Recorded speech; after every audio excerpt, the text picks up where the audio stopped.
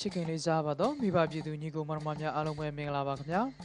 မိဘပြည်သူများခင်ဗျာကျွန်တော်တို့ဗုဒ္ဓဘာသာမြန်မာလူမျိုးတို့ဟာအလှူဒါနာပြုရာမှာအလှူရည်ဆက်လက်နက်မကွာလှူဒန်းလေးရှိကြသူများဖြစ်ပါတယ်ယရနာမှာစိန်အလှူမှာကထိန်ကျောင်းမှာတိန်ဆိုတဲ့စကားအတိုင်းအလှူတကအလှူတွေထဲမှာကထိန်လှူဟာဆိုရင်တော့တကယ်ကိုပဲတန်မိုးရှိလာတဲ့အလှူတစ်ခုဖြစ်ပြီးအလှူဒါနာတိုင်းဟာမုံမြတ်တဲ့အလုပ်တစ်ခုဖြစ်တယ်လို့ကုသိုလ်အကျိုးတူများလည်းများစွာမှရရှိကြမှာဖြစ်ပါတယ်ကထိန်ဆိုတဲ့ဝေါ်ဟာရဟာ ကတိနာပါဠိပုံမှဆင်းသက်လာတာဖြစ်ပြီးဖျားရှင်များလက်ထက်ကပင်ကထိန်ခင်းချင်းတလေးကိုကျင်းပပြုလုပ်လာကြတာဖြစ်ပါတယ်အခုလိုသတင်းဝါလာကျွတ်ပြီးတော့တစောင်းမုံလရောက်တဲ့အခါမှာတစောင်းတိုင်းမိထုံးဘွဲနဲ့တွဲပြီးတော့ကကြအနေနဲ့အရရက်ချင်းချင်းတဲ့တဲ့ကျင်းပလိရှိတာကတော့ကထိန်အလူတော်ပွဲပဲဖြစ်ပါတယ် ကထိန်သင်္ကန်းဆက်ကလူတန်းပွဲတဲ့အဲ့ဒီကထိန်ဖြစ်ပေါ်လာတဲ့သမိုင်းကိုဦးဇင်းတို့ပြောမယ်ဆိုရင်မဟာတက္ကရိ139ခုသတင်းကျွတ်လာပြီကျော်လောက်ကပေါ့သုံးလူထွတ်တာရှင်တော်မြတ်ဘုရားကြီး14ဝါရတဲ့အခါမှာတာဝတိပြည်ဇေရဝင်ကျောင်းတော်ရမှာသတင်းသုံးပြီးတော့တရားဝဝိနည်းတွေကိုတရားရည်အမြိုက်စီတိုက်ကျွေးလက်ရှိပါတယ် အဲ့ဒီခါမှာဘုရားသားတော်ဖြစ်ကြတဲ့ဗတ္တဝဂီညီနောင်သုံးချိတ်ကသူတို့သတင်းသုံးရပါဝါပြည်ကနေပြီးတော့ဖះရှင်ကိုတော်မြတ်ကြီးကိုဖူးတွေ့မယ်ဆိုတော့လာကြတာမမှီလိုက်ဘူးဝါဝင်သွားတယ်ဝါဝင်သွားတော့တာဝတိပြည်နဲ့48မိုင်လောက်ဝေးတဲ့တာကိတမြို့မှာပဲဝါဆိုရတာဖြစ်နောက်ဝါကျွတ်တန်တဲ့တပြိုင်နက်တည်းတာဝတိပြည်ဇေရွန်ကျောင်းတော်လာတဲ့အခါမှာ မိုးကြီးတွေကလည်းတီးထန်သွားရွာတယ်ရွှွညွန်ရေအိမ်တွေကလည်းမျောပါပြီးတော့လာတော့သွားလာအင်မတန်မှလမ်းပန်းခီးရခက်ခဲတယ်နောက်ပြည်သားအဖြစ်လဲဗဒ္ဒဝဂီညီနောင်30ဖြစ်နေနောက်သူတို့မှလည်းဘုရားရှင်ကိုတော်မြတ်ကြီးကဝိနည်းတော်လည်းပြည့်ညတ်ထားတဲ့တစ္ဆိဝရိတ်ဆိုတဲ့သုံးတယ်သောသင်္ကန်းကိုဆောင်းရမယ်ဆိုတော့နှစ်ထပ်သင်္ကန်းကြီးရဲ့ဧကတိရဲ့သင်္မိုင်ရဲ့ အဲ့မှာမိုးတွေဆိုတော့နှစ်ထပ်သင်္ကန်းကြီးကရေတွေဝင်ညဒါတော့ဒီတန်ဃာတော်တွေဟာအောက်ကလည်းခြေထောက်ကလည်းဘွက်တွေနင်းလာရပြန်တုံခလုတ်တွေတိုက်နောက်သင်္ကန်းကြီးကလည်းရေဆိုးနေတော့အင်ပတန်ပို့ပြီးတော့နှစ်ဆသုံးဆလောက်ပို့လေးတယ်အဲ့တော့ရေပူပေါင်းကြီးကိုတည်လာရတယ်လို့တန်ဃာတော်တွေကခက်ခက်ခဲခဲကုတ်ချစ်ပြီးတော့ကဘုရားကျောင်းတော်ရာကိုလာခဲ့ဒါဘုရားရှင်ကိုတော်မြတ်ရသိတော်မူတော့ မဟာကရုဏာမေတ္တာရှင်ဖြစ်တဲ့အတိုင်းပဲအင်ပတန်မှတနာတော်မူတော့ကဲချစ်သားတို့ချစ်သားတို့ရဲ့လာတဲ့ခရီးရာချမ်းသာပါစဆိုတော့သူတို့ရဲ့အခက်အခဲတွေမိုးလေဝသအကြောင်းတွေသင်္ကန်းလဲလဲစရာမရှိတာတွေဖះရှင်ကိုတော်မြတ်ကြီးရှောက်ထားတော့မှဖះရှင်ကိုတော်မြတ်အေးငါခု14ဝါရတဲ့ဝါစုကာလခိတ္တမ ကထိန်ကိုခွင့်ပြုမယ်ဆိုပြီးတော့ကအနုဇာနာမိဘိက္ခွေကတိနာစီဝရံဆိုပြီးတော့ကကထိန်သင်္ကန်းကိုလှူဒန်းဖို့စ တင်ပြီးတော့ကခွင့်ပြုလိုက်တာဖြစ်ကထိန်ခင်းချင်းလုပ်ငန်းဟာတန်ဃာတော်တွေလှုပ်ဆောင်ရတဲ့အလုပ်ဖြစ်ပြီးအလှရှင်များကလူဝယ်ဝတ္ထုပစ္စည်းများကိုသာထောက်ပံ့လှူဒန်းမှုပြုကြရတာဖြစ်ပါတယ်ကထိန်ခင်းပြီးတဲ့အခါကထိန်ခင်းတဲ့အကြောင်းကပထမဝါသတင်းသုံးကြတဲ့ရဟန်းတွေအားလုံးဟာကထိန်ရဲ့အကျိုးငါးမျိုးကိုရကြပါတယ်အဲဒီလိုအကျိုးငါးမျိုးရရှိမှုခိုင်မြဲစေတာကိုကထိန်လို့ခေါ်ဆိုကြတာဖြစ်ပါတယ်ဒကာဓမ္မတွေကထိန်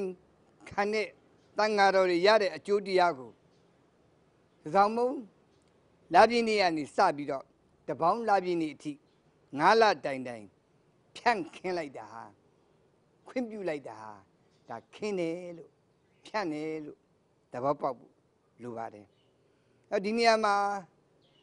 မှတ်တတ်တာလေးတွေအနှဲငယ်ပြောရမယ်ဆိုရင်တို့ဘယ်ကြောင့်မှသွားပြီးကတိန်ခင်းမလို့ဟိအာတို့မိသားစုကဘယ်ကြောင့်မှကတိန်ခင်းမှာဟာအဲ့ဒါလေးတွေနည်းနည်းလေးသ တိထားဖို့လိုပါတယ်ကထိန်ခင်းတယ်ဆိုတာတန်ဃာတော်များရဲ့အလုပ်တန်ဃာတော်များကသာလျှင်ကထိန်ခင်းခြင်းအမှုကိုပြုနိုင်တယ်လူတွေကကထိန်ခင်းလို့မရဘူးကထိန်မခင်းနိုင်ဘူးဒီတော့လူတွေကဘာလုပ်ရလဲအဲ့ဒီခင်းမဲ့သင်္ကန်းကိုလှူပေးရတယ်ဒီတော့ကထိန်သင်္ကန်းတို့သွားလှူမယ်ကထိန်သင်္ကန်းကတ်မယ်ဒါကိုပြောဖို့လိုအပ်ပါတယ်တို့ကထိန်ခင်းမယ်ဆိုတာကိုပြောဖို့ မလိုအပ်ပါဘူးကထိန်ခင်းချင်းလေးထားကိုကျင်းပပြုလို့ရတာဟာရဟန်းတော်တွေလိုက်နာဖို့တပ်ပိညွတ်တာဉာဏ်ရှင်ဖရာသခင်ချမှတ်ထားခဲ့တဲ့စီကံချက်ဝင်းဒီတိတ်ခါဖို့အချို့ကိုအချိန်ကာလအတိုင်းအတာတစ်ခုအတွင်းမလိုက်နာပဲကင်းလွတ်ခွင့်ရအောင်ဆောင်ရွက်နိုင်ဖို့အတွက်ကထိန်ခင်းရတာဖြစ်ပါတယ်။အခုလိုတစောင်းမုံလာကထိန်ခင်းချင်းပြုလုပ်လို့ရှိတဲ့ကာလမှာဆိုရင်တော့ ကျေးလက်မျိုးပြတော်ရမကြံကထိန်မွေးများကိုကျင်းပပြုလုပ်လို့ရှိကြပါတယ်။ဒါဟာဘယ်တော့မှရိုးသွားလိမရှိတဲ့မြန်မာရိုးရာအလှပွဲတော်များဖြစ်ပါတယ်။ကထိန်ခင်းရမှာငွေကြေးတက်နိုင်သူများကလည်းတက်နိုင်သလောက်ကထိန်အလှကိုလှူဒန်းကြသလိုငွေကြေးမတက်နိုင်သူများကလည်းမိမိတို့ရဲ့ရှိတဲ့အင်အားလေးတွေနဲ့စုပေါင်းက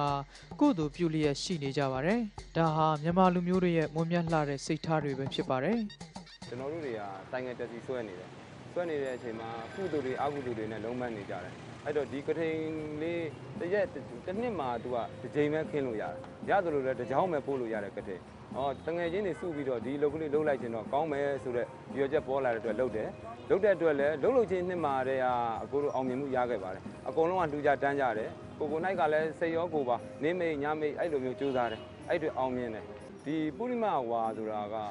တန်ဃာတော်တွေကဝါရင်3လပတ်လုံးမှာတရားကျင့်ကြံအားထုတ်မယ်အားထုတ်ပြီးတော့သူကုလိမဝါကနေထားမြောက်လာတဲ့ပုံကိုယ်တွေကိုအကိုတို့ကငုံငုံမြတ်မြတ်နဲ့ကတ်လိုက်တာပဲဒီသင်္ကန်းဒါအကိုသိတဲ့အတိအအဲ့လောက်ပဲရှိတယ်ဟိုဒါပေမဲ့ဟိုဘုရားရဲ့သမိုင်းကြောင်းမှာကြည့်မယ်ဆိုလို့ရှိရင်တော့ဒါခုနကပြောသလိုအစဉ်အဆက်တွေရှိခဲ့တာပေါ့နော်မြတ်စွာဘုရားဟို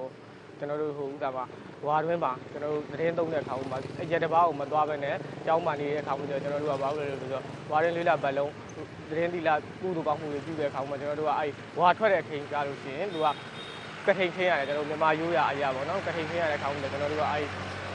ဝါထွက်လို့ရှိရင်အရက်တစ်ပါးသွားတဲ့အခါမှာပြည့်နေဆုံးကိုစားလို့ရတယ်သူရဲ့ပစ္စည်းကိုအလူခံလို့ရတယ်ဆိုတော့ကျွန်တော်တို့ကအဲ့တော့ဝါတွင်းထွက်လို့ရှိရင်ကထိန်ရကြလို့ရှိရင်ကျွန်တော်တို့ကကထိန်ကိုစုပြီးတော့ ထည့်ပေးတယ်ပေါ့နော်ဒီဟာကိုကျွန်တော်တို့မြန်မာရိုးရာအရာကျွန်တော်တို့ဟိုဥစားလူစင်တန်းနေတဲ့ဟာကိုပြောတယ်အလှူမှာဆိုလို့ရှိရင်ကထိန်ဖြစ်တဲ့အတွက်ကြောင့်ဟိုကျွန်တော်တို့ကအလှူကိုကထိန်ကိုဥစားပေးလှူကြတယ်အခုချိန်ဟာကထိန်ရာသီဖြစ်တာကြောင့်မိမိတို့သွာလာလှုပ်ရှားနေကြတဲ့ပတ်ဝန်းကျင်များမှာလည်းကထိန်လှူပွဲများအတွက်အလှူခံဌာနများရှိသလို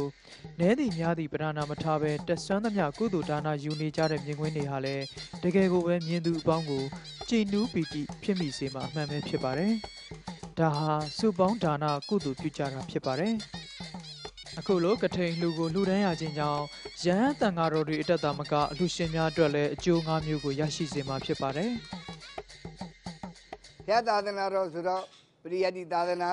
ပฏิပတ်တိသာသနာပฏิဝေဒသာသနာဒီသာသနာတော်မှာရှိတဲ့တန်ခါမှန်သမျှအယုတ်အလတ်အမြတ်မရွေးဂိုင်းကနမရွေးအရွယ်မရွေးဒီတန်ခါတော်တွေကိုကတ်မှ တန်ခိကဒါနဖြစ်တယ်အဲ့ဒီအချက်သုံးချက်နဲ့ပြည့်စုံသွားလို့ရှိရင်အဲ့ဒီကထိန်သင်္ကန်းကခုနပြောသလိုပဲအတိဥက္ကဋ္ဌအလွန်မြင့်မြတ်တဲ့သင်္ကန်းဖြစ်သွားပါတယ်အဲ့လိုမြင့်မြတ်ခြင်းဖြစ်သွားလိုက်တဲ့အခါကျတော့ဘာဖြစ်လာမလဲနော်အကျိုးပေးတွေကြောက်လာတူသောအကျိုးပေးတယ်ဆရာနဲ့တကားဆရာကလည်းအကျိုး၅ပါးရရင်တကားကလည်း၅ပါးရတို့ရုပ်ရှင်တွေဘာတွေမှာဟာလားอืม ပြောလို့ရှိပါတယ်စိတ်တူကိုယ်တူချစ်တဲ့သူဆိုလို့ပြောလို့ရှိတယ်ဒီမှာလည်းဒီလိုပဲဆရာတကားတူညီရရတဲ့ကထိန်အလှူဟာအာနိသင်၅ပါး၅ပါးချင်းဟာအတူတူပဲ